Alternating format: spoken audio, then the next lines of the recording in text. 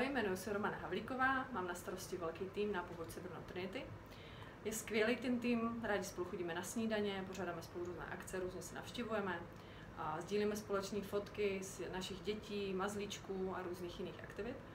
A pokud tě baví obchod, umíš anglicky, a máš blízko k investování a k tomu lidem šetřit nějaký peníze, tak je to místo právě pro tebe.